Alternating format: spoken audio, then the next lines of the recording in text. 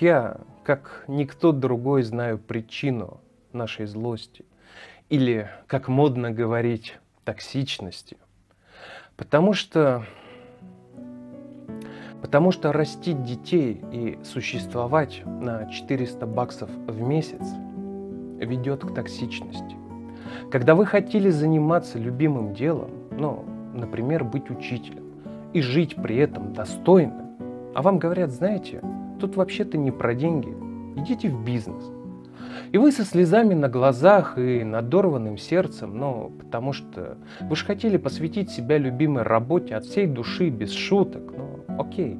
Вы идете в бизнес, открываете свой маленький островок в торговом центре по продаже какого-нибудь китайского говна или точку общепит. Естественно, на кредитные бабки, под конские проценты, которые для ИП еще и хер получишь. А приходит пандемия, и вот уже ваша точка общепита признана рассадником коронавируса. И, естественно, вирус не ездит в трамваях и метро и не присутствует на мероприятиях, одобренных сверху, а прячется гнида исключительно за стулом вашей кафешке. Не поверите, это приводит к токсичности. Когда в вашем родном городе из работы это магнит и пятерочка. Ну, либо снимать цвет мед с высоковольтных проводов. Или езжайте покорять Москву. Вас же там, естественно, ждут. Когда спиздившая по разным оценкам от 6 до 16 миллиардов рублей персона выходит на свободу через пару месяцев и выпускает песни, рисует картины. Когда судья, судья, сука, человек, который должен быть справедлив, как ёб твою мать, имеет как хочет весь край, всем насрать, а палится только потому, что устраивает кутежи, такие, что у Абрамовича глаз от зависти дергается. И только волна народного негодования привлекает какое-то внимание. Это приводит к токсичности. Больницы и школы в состоянии чуть теплее говна и 7 бригад скорой помощи на 150 тысяч населения города в пандемию – блогер начал готовить ролик про скорую. Полнейшее отсутствие уверенности в завтрашнем дне, а главное понимание, что никто ни хера не понимает, что творит и не принимает на себя ответственность. А главная цель всего этого управления не разозлить там, наверху, в Москве. Остальное вообще похеру. Тоже чуть-чуть ведет к токсичности. И если вы считаете, уважаемые россияне, Ванюши, Тани, Мани, что вся эта история с Украиной поможет нам перестать быть токсичными? Хм, окей. Я не настолько наивен и не думаю, что сейчас я скажу нет всяким там, операциям. Уважаемый Роскомнадзор, я своего кота собакой назову, лишь бы вы были спокойны и счастливы.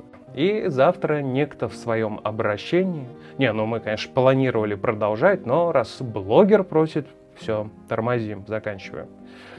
Если бы это помогло остановить и закончить с ненавистью, я бы миллион таких обращений записал. Миллион одно. если вам нужно кого-то ненавидеть для того, чтобы быть счастливыми, у меня есть предложение. Ненавидьте блогер. Серьезно. Я всего лишь кучка пикселей на вашем экране. А человеку, который находится за черными стеклами очков, вы не причините вреда. Он видел вещи и похуже, чем комментарии в интернете. Ненавидьте блогера. Пишите тут любую дрянь, которая взбредет в голову. Удаляться ничего не будет.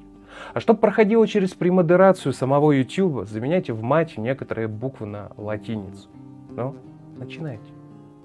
Я помогу вам. Я. Я причина всех ваших неудач и мизерной зарплаты. В то время как у меня денег не просто до хера. Садовник моего водителя прикуривает от 100 долларовых банкнот. А, кстати, нищеброды, какой сейчас курс, а? А знаете, откуда у меня столько денег? Да я в жизни ни дня не работал. Просто мой папа депутат, а вы вы говно. И пока ваша семья выживала в 90-е, моя семья продавала лес, газ и нефть. И это только часть моих денег, остальное я украл из ваших налогов. А вы либерал, может быть? Тогда я за Путина голосовал. Четыре раза. И пойду еще. Вы сторонник имперских взглядов? Окей. Свободу Навальному. Может, вы коммунист? Тоже не проблема. Ленин – гриб, Сталин – кровавый тиран. Вы девушка? Че ты сюда приперлась? Место бабы у плиты. Сторонник патриархата? Я самая радикальная феминистка, считающая, что вас, мужиков, можно только как рабочую силу использовать. Я хочу вступить в НАТО сам, укутавшись во флаг ЛГБТ и встать перед представителями черной расы на колени.